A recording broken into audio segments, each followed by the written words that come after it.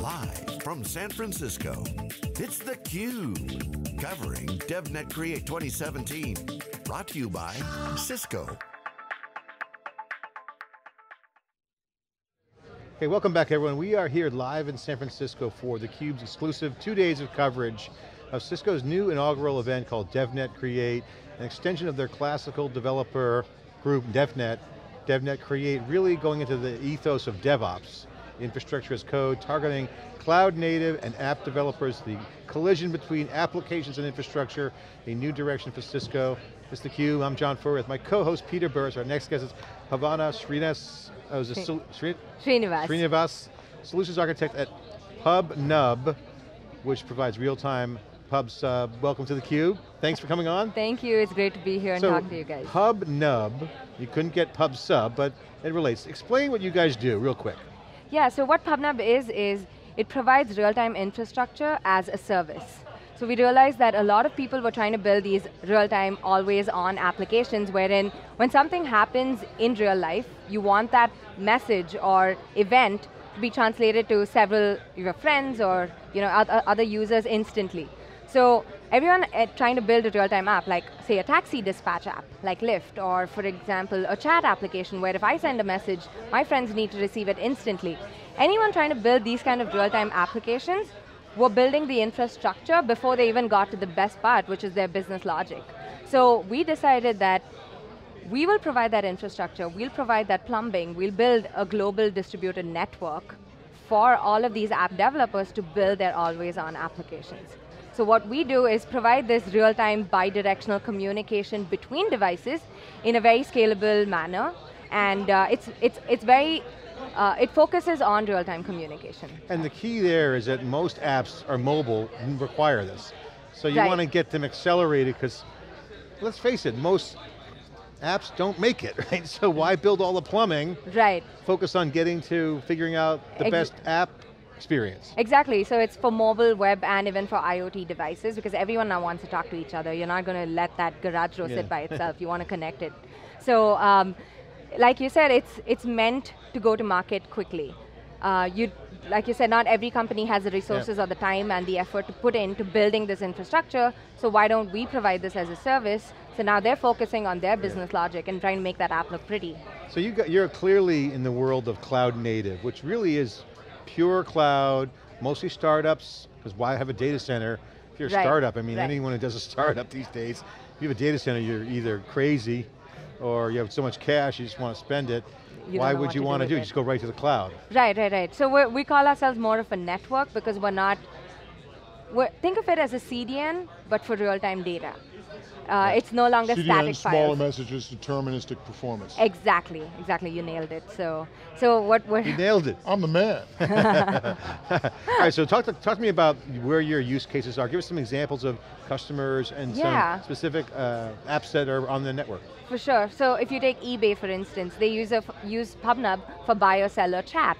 So you know, you, you, go on eBay, you want to talk to that buyer before you actually buy that thing. So that chat application is powered by PubNub. Or for instance, you go to Logitech and then you want to control mm-hmm. all these devices in your house, and PubNub is what enables that. From your mobile phone to all the devices in your house, that is PubNub in play there. Or if, for instance, yeah. Lyft uses us for, to see where exactly the driver is in real time. So you, are able to see every instantly. Yeah. So we, I mean, it's such a low-lying infrastructure that we play in like almost 35 different industries, whether it's real-time chat yeah. or taxi dispatch, multiplayer game like Pocket Gems, uses us, that's, that's where it's real time at its core, right? So you have two screens, people are playing a game, you want to see what the other person is doing, right? That's the essence of a multiplayer game.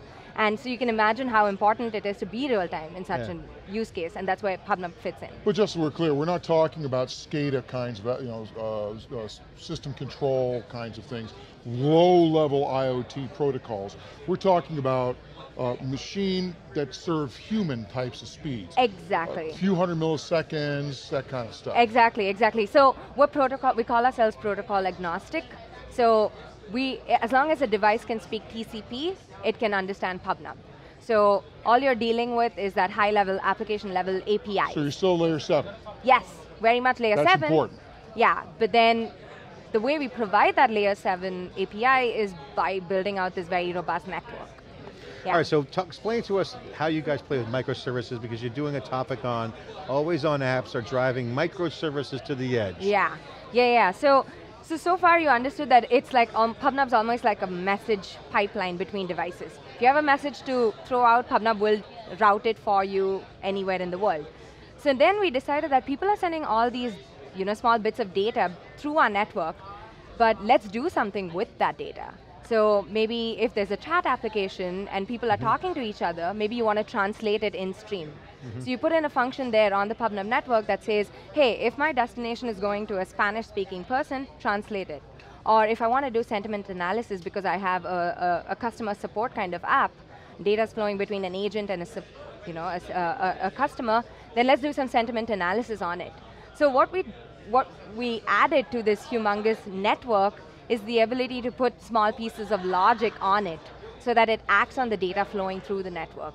And so it becomes easy to spin up these microservices through PubNub, and that's what I'm going to be talking about. So it's, yeah, so. So it's a brand new innovation. A new, a new innovation opportunity for you guys exactly. to apply logic into a data stream while it's in motion. Of course, yeah. So we recently even did uh, have an, a block. We call this block event handlers. So we have a block with Cisco Spark. So if you wanted to do any kind of uh, collaboration Yeah. using that Cisco Spark, you can now send data through PubNub and instantly in real time it will sync up with So, Cisco Spark. Havan, I got to get your, your perspective on something. We talked to a lot of enterprises, and you're involved with a lot of cutting edge companies, microservices, cloud, cloud native. They're doing cutting edge stuff. They don't have time to be bothered with old fashioned stuff, because they don't have no baggage, there's no legacy. A lot of these enterprises have legacy environments. They're trying to be relevant, and they're looking to design great apps. Is there a pattern that you've seen or observation that you've noticed on the successful new emerging companies that could be an opportunity for someone to look at and say, hmm, I should do more of that. What's the, what's the trend? That's a loaded question. but um, I mean, we talk to a lot of small and medium businesses and also a lot of enterprise level um, companies, but then it's just that the sales cycles are much slower. Like, you can't go to a company and say that, hey, I, I know you're building a, um, a technical product, speeding up your development process, right? So it's up to them to do that. So with enterprise, at least they have the resource and time to do so. But like you said, they have a lot of legacy systems. So it's hard to tear that down and Build new.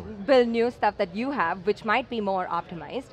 But uh, we try to make it work. So we're trying to now, like I said, if you're within the PubNub ecosystem, you can use our blocks. But then everyone understands HTTPS. So we've now included a blocks endpoint, where if you just talk HTTP, you can get into the PubNub network. So ways to use our network using their infrastructure. So we're trying to make eh, this network accessible for anyone, irrespective of So whether they integrate use easily into these older legacy environments. Ex- Well, Exactly. but so so one of the places where where at least PubSub initially started was the idea that you could have a publisher without having to know who the clients. are. Right, right, right, right. So do you anticipate, does PubNub anticipate that you're actually going to be in a position to say, I as a real-time device or as a real-time service can put something into PubNub and then devices out there can subscribe to it.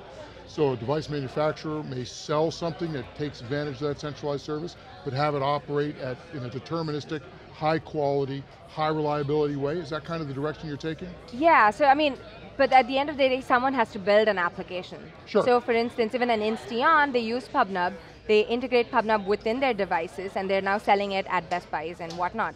So it's like when I, as a customer, buy an Insteon product, I don't know there's PubNub in there. But then using PubNub, Insteon's now able to collect data about you know, my usage patterns or where, where I can be saving energy, etc.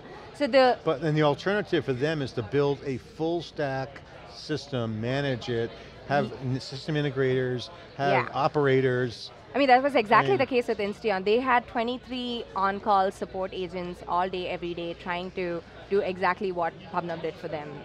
Yeah, and they save all that. that cost. Yeah. It's kind of like why people use Amazon. Right, exactly. I don't need a data center, I don't need staff. All right, what do you think about this event? Obviously Cisco has been first in a lot of markets and succeeded in networking, but didn't really knock it out of the park on home off, um, smart home or um, Linksys. and so on and so forth. But now with cloud native, that we're saying is that it's opportunity for them. yeah. What's your take on Cisco's moving up the stack? I mean, I, I think it's great. It, it- this is one of the first conferences that DevNet is hosting for developers, right? I just got here, but we've had a booth here and people are saying really great things and the, the, there's been a steady crowd and apparently there have been great talks. So I'm actually very excited to give my talk. What time's and your I'm talk, going. today? Yeah, today at 5 p.m. and then I'm, I'm here tomorrow as well. So excited to check out the whole Great to have you on theCUBE and, and thanks for sharing PubNub and we look forward to getting more updates from you and congratulations on your success and, Thank you. and your customers. Thanks it was sharing. great to be here. Thank you so much. Thanks so, so you much. should stop by our booth when We'll stop by and check out PubNub, the real-time pub sub service used by all cutting edge companies in cloud native. This is the Cube, Cube Cloud. Check out our content at youtube.com slash siliconangle. It's our Cube Cloud, all the content there for you. I'm John Furrier with Peter Burris. Stay with us for more live exclusive coverage from Cisco's inaugural event, DevNet Create, after this short break.